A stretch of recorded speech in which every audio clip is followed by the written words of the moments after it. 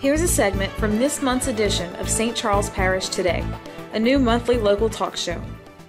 Water meter readers are probably the most visible of all parish employees. These nomadic staff members read each and every meter in the parish, both commercial and residential, on a monthly basis, reporting usage to formulate accurate water bills. At first glance, you may think it's a simple job, but Public Information Assistant Dewan Petrie found out otherwise in her recent ride along. Let's take a look. What if your job involved walking past every single house in St. Charles Parish? That's what a water meter reader does every single day. So let's follow him today and see what his job involves. This is Jerry Davis. He just started out on his daily route. This is the first of 500 water meters he will read today. All right, this reading on this meter is 1901. This will be the reading, the present reading on your water bill. You leave off two numbers, there's four and a zero that's stamped. You leave that off. So all, all household meters, just read up to the first black line, 1901. That is the reading for this meter. Every side of the river is broken down into four quadrants. So your, your water meter is read once a month. So it goes on this side of the river, it goes Norco months. The next week, you're gonna read New Sarpy. The next week after that, it's Ormond. And the week following that is gonna be St. Rose. Then the cycle repeats itself. So your average water bill should be approximately the same amount all the time. If your bill is a lot more, you might want to come and check your meter for a leak. Sometimes there is a five week cycle the way it falls, so you can expect probably roughly seven to ten dollars more. But if it's a lot more than that, you might want to check and make sure you have a leak. Black triangle that's moving right now is what they call a leak detector. That measures any small amounts of water that goes through the line. So if anyone wants to check and see if they have a leak, if they're not aware of it, this little triangle will let you know. It is moving, so they're using water or they do have a leak. If there's no water going through it, which it shouldn't if you don't have no water running, this is going to be at a dead still. And a lot of toilet problems, if you hear your toilet running by itself, mm -hmm. that will add a good amount of water to your water bill. A lot of people are not aware of that. Easily $30. I see it all the time. So that's the biggest culprit. 70, at least 85% of your leaks going to be the toilet. And you can shoot right now. There, this is what it's supposed to look like if you're not using water. It's at a dead still. The little black triangle. We roughly read around 450 to 500 meters a day.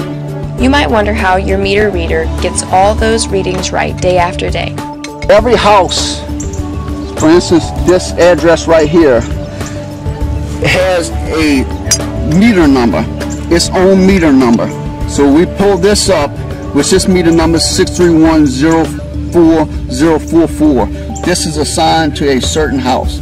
So when we read the meter, if the consumption comes up high or low, we have to first check and make sure that we're at the right meter because this meter dictates what household it belongs to. The meter reader then enters the number into a computerized handheld device. At the end of the day, all the readings from the handheld device are transferred into the computer at the main office. They download all the readers in the computer. So the computer has an average of what each household goes.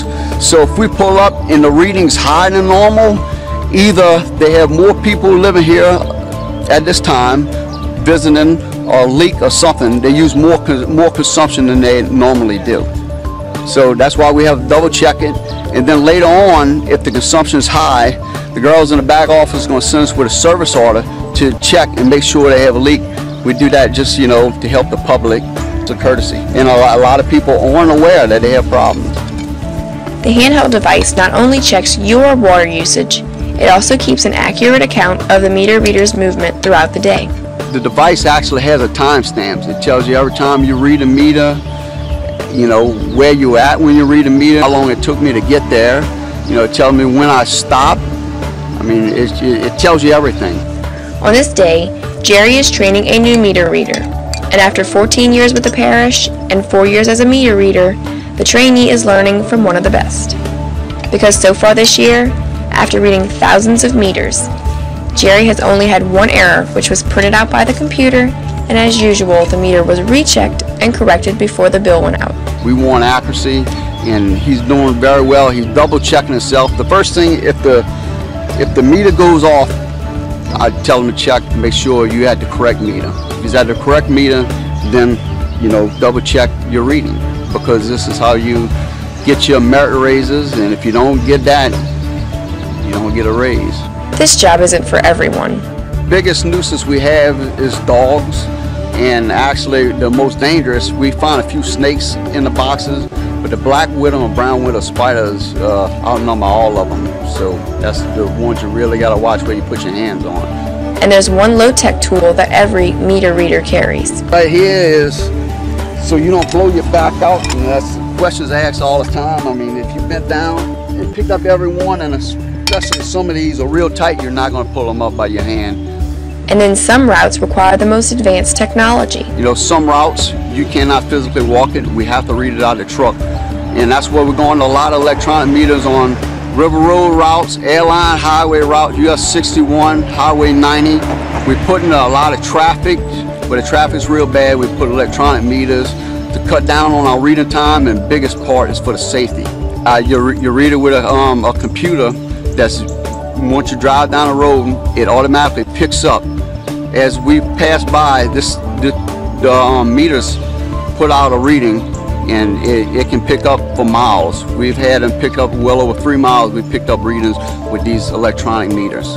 We got a computer that sits in the cab of the truck and you just ride by and every 15 seconds a new electronic meter spits out a reading and the computer just picks it up as we as we go by and we've picked up meters well over three miles away with the new electronic meters so it cuts it at the biggest thing with it is you can also tell a history of when this meter turns off and when the meter shuts off it tells you everything it's good at that and it's also a good safety feature because you're, you're reading out of a truck, you're not going against traffic. There are thousands of meters that have to be read each month, and all of them are read and maintained by a small group of dedicated parish employees. We have two, two meter readers read each cycle, and then we have one that does service orders.